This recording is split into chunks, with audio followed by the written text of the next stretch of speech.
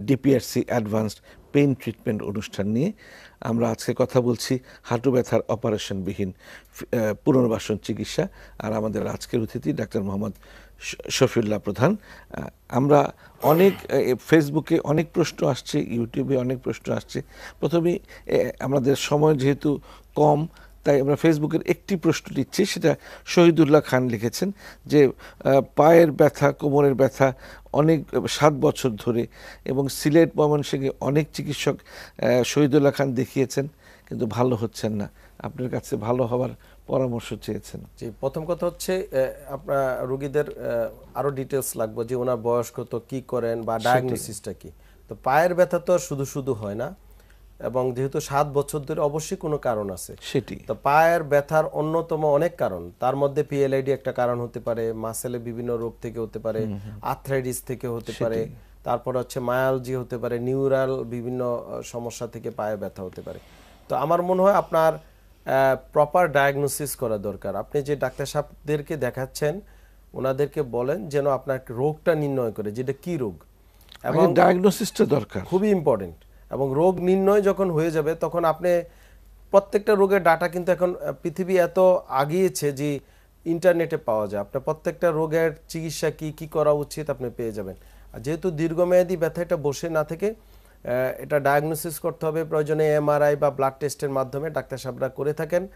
এটা diagnosis clear করলে আপনি তখন চিকিৎসাটা ভালো করে দেওয়া যাবে। কারণ স্পেসিফিক কোথায় কী রোগ হয়েছে এটা না বললে উত্তর দেওয়া খুব মানে রোগটাকে ধরে চিহ্নিত করে তার চিকিৎসা দিলে সাত বছর তো ভোগার কথা কথা না। আর পায়ের ব্যথা কিন্তু এটা তো একটা উপসর্গ।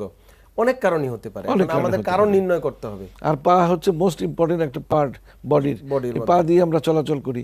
সাত বছর ধরে যদি পা ব্যথা নিয়ে উনি থাকেন তাহলে কাজ করবেন কীভাবে? অবশ্যই ওনার হ্যাম্পার হচ্ছে অবশ্যই। লাইফে সমস্যা হচ্ছে। কোয়ালিটি অফ লাইফ তো চেঞ্জ হয়ে যাবে। হ্যাঁ আমার মনে হয় উনি একজন স্পেশালিস্টকে দেখিয়ে ডায়াগনোসিসটা ক্লিয়ার করুক। ইউটিউব থেকে আরেকটি প্রশ্ন এসছে। আচ্ছা। একজন দর্শক লিখেছেন যে তার ডিসপ্রোলাপস আছে H L A B twenty seven positive এবং শুকিয়ে যাচ্ছেন মাংস ঝুলে পড়ছে। এইগুলোর উ- কারণ জানতে চেয়েছেন এবং এর যে কীভাবে উনি ভালো হবেন তাও জানতে চাচ্ছেন। হ্যাঁ খুবই ইম্পর্টেন্ট প্রশ্ন এবং এখানে আমরা এই জন্য বারবার বলি যে আমরা প্রত্যেকটা রোগকে শুধু স্পেসিফিক রোগ নিয়ে বসে থাকব না। যে আমার পিএলএডি হয়েছে ওকে এতটুকুই শেষ। আমরা কেবল পিএলএডি চিকিৎসা দিলাম ফিজিওথেরাপি করলাম সার্জন অপারেশন করল ওষুধ খেলো নো প্রত্যেকটা রোগের পাশাপাশি কো মরবিডিটিসগুলো দেখতে হবে। সেই পাশাপাশি অন্য কোনো ডিফারেন্সিয়াল ডায়াগনোসিস আছে কিনা? যেমন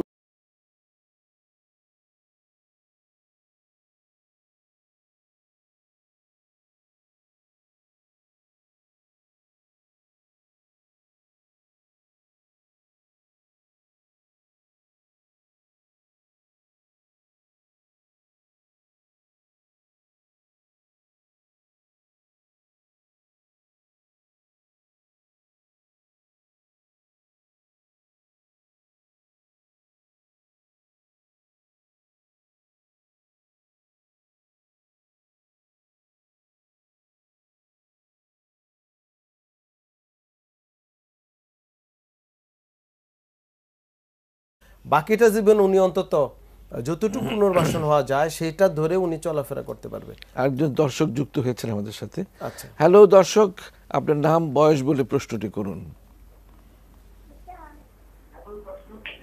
হ্যালো।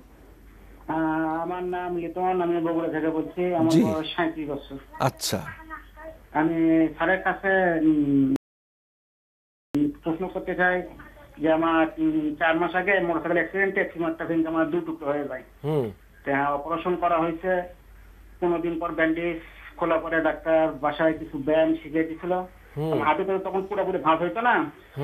সে ডাক্তার যে ব্যায়াম দেখিয়ে দিতে সেটা করার পরে মোটামুটি এক মাস ব্যায়াম করার পর আমার হাঁটুটা পুরো ভাঁজ হইতো। আচ্ছা। ব্যথা তেমন করতো না।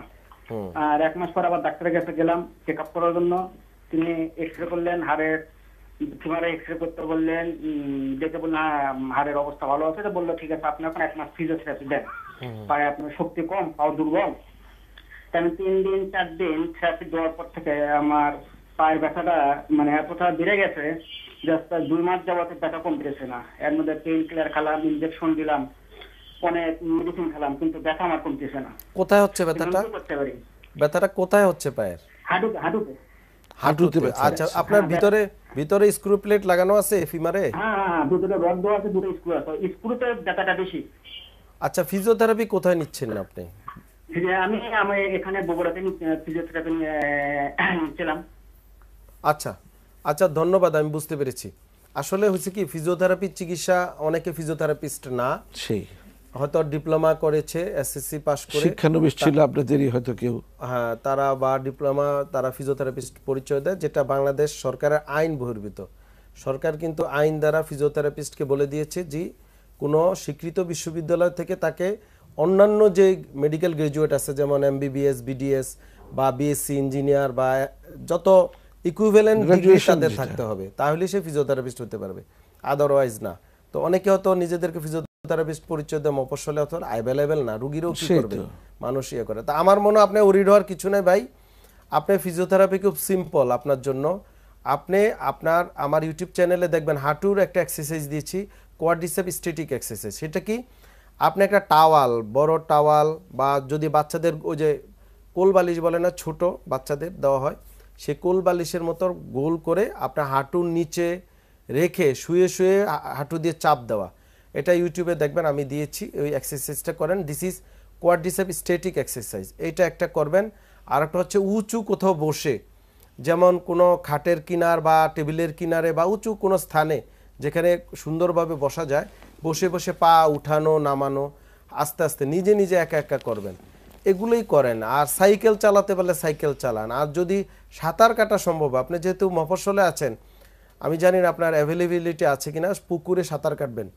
দরকার কলার ভেলা বা যে কোনো কিছু একটা ধরে সাঁতার কাটবেন। এইগুলো করলেই ভাই এটা ভালো হয়ে যাবে। এটা নিয়ে ওই ফিজিওথেরাপি সেন্টারে গিয়ে উল্টাপাল্টা থেরাপি দিয়ে হাঁটু নষ্ট করার দরকার নেই। আর আপনার সাথে যোগাযোগ করতে পারেন। হ্যাঁ অথবা একজন একজন ফিজিওথেরাপিস্ট যাকে যাকে বলে যে সে তার সাথে যোগাযোগ করবেন যে যা- যার ন্যূনতম অন্তত কোনো ইউনিভার্সিটি গ্র্যাজুয়েশন ডিগ্রি আছে যে ব্যাচেলার ডিগ্রি আছে সাধারণত বাংলাদেশের ঢাকা ইউনিভার্সিটি ডিগ্রিটা প্রোভাইড করে থাকে।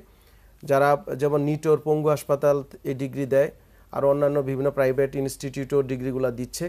তো সেখানে এই জাতীয় ফিজিওথেরাপি চিকিৎসকের আপনি স্বর্ণপন্ন হতে পারেন। তবে আপাতত এক্সারসাইজগুলো করেন সাইক্লিং স্টেটিক হাঁটুর কোয়াড্রিসেপ স্টেটিক এক্সারসাইজ বা বসে বসে পা উঠানো, নামানো, শুয়ে শুয়ে আপনি নিজে হাঁটু ভাস করবেন, সোজা করবেন, এগুলা রেগুলার নিয়মিত দুই বেলা করতে থাকেন। আর এটা নিয়ে এত স্ট্রেস দেওয়ার দরকার নেই। এত অতিরিক্ত প্যারেশানির দরকার নেই। কিন্তু জাস্ট এক্সারসাইজগুলো করতে থাকেন। আর হাঁটেন আস্তে আস্তে হাঁটেন রাস্তায় ইমপ্রুভ হয়ে যাবে ইনশাল্লাহ। সেই স্ক্রুটা যে পেইনটা হচ্ছে। হাঁটুতে পেন হচ্ছে ওনার ফিমার ভেঙেছে। শেফট মানে উপরের অংশ ওখানে স্ক্রু প্লেট দিয়েছে ডাক্তার সাহেব।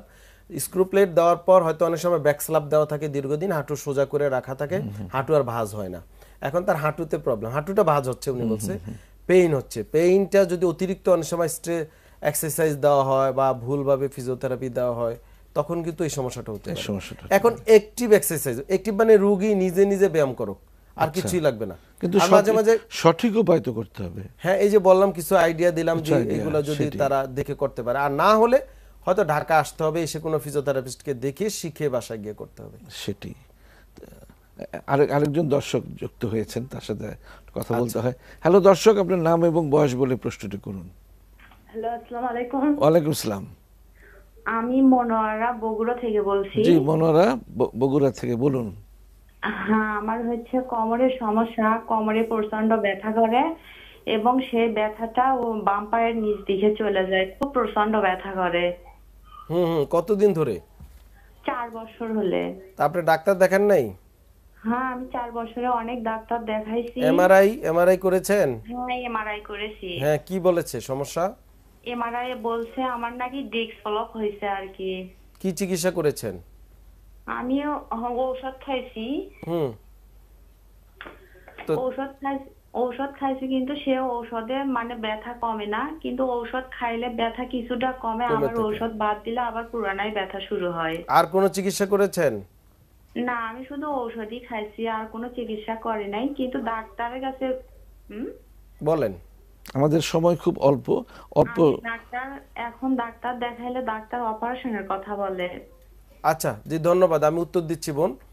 আপনার ওনার চার বছর ধরে পিএলআইডি তো উনি কেবল ওষুধ খাচ্ছে। তা আমরা চার বছর তো আমরা তো দশ বছর ধরেই মিডিয়াতে কথা বলতেছি। আর এর মধ্যে এত ওষুধ খেলে তো কিডনিও নষ্ট হয়ে যাবে। কিডনিও নষ্ট হয়ে যাবে। তা আপনি ওষুধ খাওয়া বন্ধ করেন। এখন ডাক্তার সাহেব হয়তো একটা কনক্রিট সিদ্ধান্তে আসছে যে অপারেশন হ্যাঁ। এই রোগের অপারেশন একটা ওয়ান অফ দ্য ট্রিটমেন্ট কিন্তু আপনার মূল ট্রিটমেন্ট এতদিন বন্ধ আপনি করেন নাই সেটা হচ্ছে ফিজিওথেরাপি অ্যান্ড পুনর্বাসন। আপনার আপনি আগে একজন ফিজিওথেরাপি এবং পুনর্বাসন চিকিৎসককে দেখিয়ে ফিজিওথেরাপি দিয়ে দেখেন আশা করি এতদিন আপনি ভালো হয়ে যেতেন। যদি এটা ফেল করে আপনাকে তখন অপারেশনে। ব্যথার ওষুধ বন্ধ করেন হ্যাঁ ব্যথার ওষুধ বন্ধ করেন জি। ডক্টর মোহাম্মদ শফিউল্লাহ প্রধান অনুষ্ঠানে এসেছেন।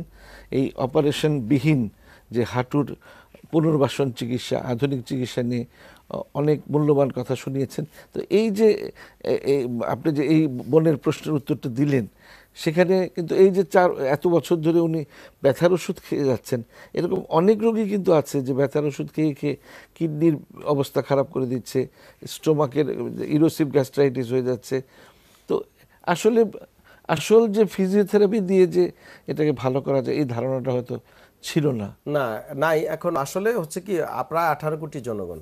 সবাই তো সবার ক্ষেত্রেই যে মিডিয়ার প্রচার বা জানবে হয়ে ওঠে না। সবাই তো আসলে এখনও ও- ওই ওইভাবে মানে সচেতনতাটা ডেভেলপ করে না তবে হচ্ছে। হচ্ছে আগে তো রুগীরা ডাক্তারের কাছে যেত না। এখন তো উনি চার বছর কিন্তু ডাক্তারের কাছে যাচ্ছে। যাচ্ছে। হয়তো ডাক্তার সাহেব ওষুধ দিচ্ছে। এখন ডাক্তার সাহেব বলছে অপারেশন করতে। তো আগে তো এটাও ছিল না। তো আমি মনে করি যে এখন সময়ের ব্যাপার। রুগীরা আস্তে আস্তে যাবে এবং একটা বাংলাদেশে কিন্তু ইন্টারনেটের এত সুন্দর আহ, মানে স্প্রেড হয়েছে যে আমাদের প্রত্যন্ত গ্রামে কিন্তু আমরা একটা just normal Android mobile phone একটা কম দামে এটা দিয়েও কিন্তু আমরা ডাটা পাচ্ছি। যে রুগীরা ডাটা পাচ্ছে যে আসলে কোমর ব্যথার জন্য কি করা উচিত অপারেশন না ফিজিওথেরাপি করবে না ওষুধ খাবে বা ফিজিওথেরাপি চিকিৎসিত তো জানতো না সেটি তো সেটা অবশ্যই মিডিয়ার কল্যাণে এবং অনলাইন মিডিয়া এবং আমাদের এই যে স্যাটেলাইট মিডিয়া টেরিস্টোরিয়াল মিডিয়ার কারণে ডাক্তারদের প্রচার সরকারের সচেতনতা গণসচেতনতার মাধ্যমে বিশেষ করে ফিজিওথেরাপি যে এই যে ডিসিপ্লিনটা আপনি যেভাবে মিডিয়াতে এনে মানুষের মধ্যে যে ফিজিওথেরাপি সম- সম্পর্কে একটা সঠিক ধারণা দিয়েছেন সেজন্য আপনাকে ধন্যবাদ জানাই। যে আপনাকে ধন্যবাদ। আর সম্ভবত অনুষ্ঠান শেষ। না আর বলুন আপনি। আচ্ছা তো একটা হচ্ছে এই যে ফিজিওথেরাপি জিনিসটা কিন্তু প্রাচীনকাল থেকে চলে আসছে। হ্যাঁ প্রাচীনকাল থেকে চলে আসছে কীভাবে? একেবারে প্রাচীনকালেই বিভিন্ন প্রাকৃতিক উপায়ে চিকিৎসা দেওয়া হতো। কেউ আঘাত পেলে কি করতো আগে? আঘাত পেলে গিয়ে দূরে দূর দিয়ে গিয়ে কিছু ঠান্ডা পানি এনে ধরতো ঠিক না? বা বরফ পাইলে বরফ দিত। তারপরে অনেকে দুব্বা ঘাস বলে এটাকে বেটে এনে দিত। বা বা আপনার যে কোনো কিছুতেই প্রাকৃতিক ট্রিটমেন্টটা কিন্তু চলে আসছে। কিন্তু এটা সাইন্টিফিক ওয়ে হচ্ছিল না। ফিজিওথেরাপি চিকিৎসাটা হচ্ছে এই প্রাকৃতিক চিকিৎসাটাকেই সায়েন্টিফিক ওয়েতে আমরা এখন দিচ্ছি। যে সায়েন্টিফিক ওয়ে ওষুধ ব্যবহার যেন এখানে করতে না হয়। ওষুধ বলতে আমরা এখানে কেমিলের কথা কেমিক্যালের কথা বলছি। বিভিন্ন যে ব্যথার ওষুধ বিভিন্ন যে ওষুধগুলো আমাদের শরীরে বলতে চাচ্ছেন যে সাইন্টিফিক্যালি এখন এই চিকিৎসাটাকে ফিজিওথেরাপি আগে যেই সনাতনী চিকিৎসা ছিল সেটাকে এখন সাইন্টিফিক্যালি আনতে হবে। হ্যাঁ। অনুষ্ঠানে আসার জন্য শফিউল্লাহ প্রধান আপনাকে অনেক অনেক ধন্যবাদ। অনেক মূল্যবান কথা শুনিয়েছেন। দর্শকরা নিশ্চয়ই উপকৃত হবেন। প্রিয় দর্শক আমরা এতক্ষণ ডক্টর মোহাম্মদ শফিউল্লাহ প্রধানের কাছ থেকে এই অপারেশনবিহীন হাঁটুর পুনর্বাসন চিকিৎসা, আধুনিক চিকিৎসা নিয়ে অনেক মূল্যবান কথা শুনতে পেলাম।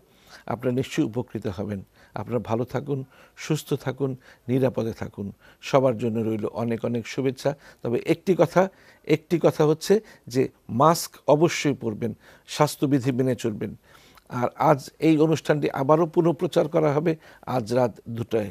নিশ্চয়ই দেখবেন এবং উপকৃত হবেন। ভালো থাকুন।